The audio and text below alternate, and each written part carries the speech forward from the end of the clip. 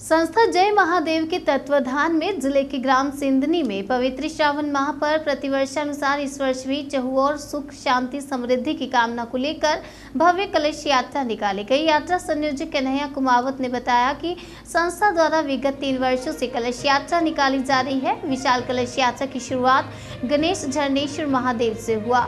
यात्रा में हज़ारों की संख्या में माताएँ, बहनें एवं शिव भक्त शामिल हुए। संचालक हिम्मत सिंह चावड़ा ने बताया कि यात्रा में शामिल 2100 से अधिक मातृशक्तियों को कलश एमनारियल नारियल जय महादेव मित्र मंडल ग्राम सिंधनी की ओर से निशुल्क भेंट किए गए।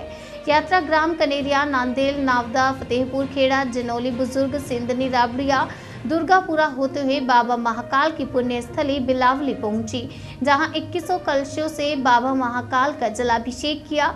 यात्रा में मुख्य अतिथि के रूप में मंडल अध्यक्ष राजेंद्र पटेल और जनपद सदस्य रूप सिंह धाकर जनपद सदस्य शारदाबाई सह संचालक तरुण पटेल कमल सिंह सहित गाँवों के गणमान्य जन मौजूद थे।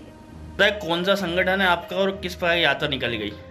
हमारा जय महादेव संस्था ग्राम सिंधनी संगठन है जिसमें हमने इक्कीस सौ कलश एवं नारियल निशुल्क वितरित किया महिलाओं को और भव्य कलश यात्रा निकाली जिसमें से कन्हैया नावदा नांदेल खेड़ा फतेहपुर राबड़िया सिंधनी दुर्गापुरा होते हुए बिलावली महाकाल मंदिर यात्रा पहुँची और वहाँ पर जलाभिषेक किया कहाँ से प्रारंभ हुई थी यात्रा यात्रा झन्नेश्वर महादेव मंदिर खुर्द से यात्रा प्रारंभ हुई थी और बिलावली महाकाल मंदिर पर हमने जलाभिषेक किया कितने वर्ष हो गए आपकी यात्रा को लगातार तीसरा वर्ष था ये। जिसमें। छोटे बड़े मिलाकर सभी बच्चे महिलाएँ मिलाकर तीन हज़ार से ऊपर की जनसंख्या रही। क्या विशेषता रही यात्रा की आप? यात्रा में हमने यही बाबा महाकाल से प्रार्थना की कि सुख शांति समृद्धि रखे। अच्छा कहीं स्वागत सत्कार भी हुआ यात्रा का? स्वागत सत्कार सभी प्रमुख मार्गों पर आते हुए किया गया। सभी पुष्प वर्षा की गई सभी लोगों द्वारा और फलार वितरित किए गए। आपकी संस्था कुल कितने सदस्य इसमें लगे थे? कब से लगे थे? हमारी इक्कीस सदस्यीय संस्था है जिसमें लगभग एक महीने से तैयारियाँ चल रही थी ये। हम्म, ठीक है आपका परिचय।